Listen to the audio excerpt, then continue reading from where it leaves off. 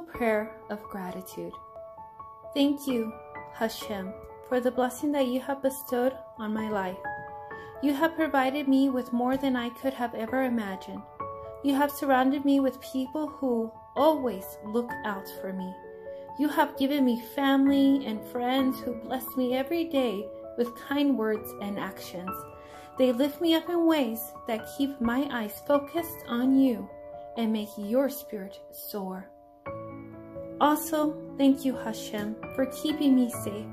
You protect me from those things that seem to haunt others.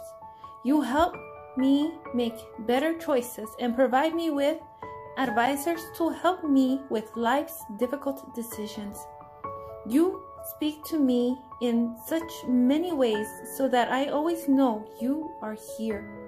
And Hashem, my Lord, my God, my Savior, my hope, my defense, I am so grateful for everything you do, for keeping those around me safe and loved.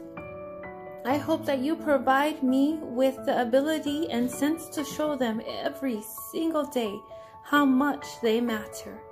I hope that you give me the ability to give to them the same kindness that they have provided me through you.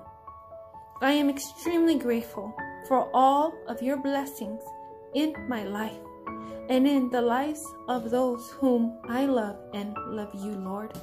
I pray that you remind me just how very blessed I am every single day and that you never ever allow me to forget and to show my gratitude to you and you alone in prayer, for everything comes from you, my merciful God, my source, my Redeemer.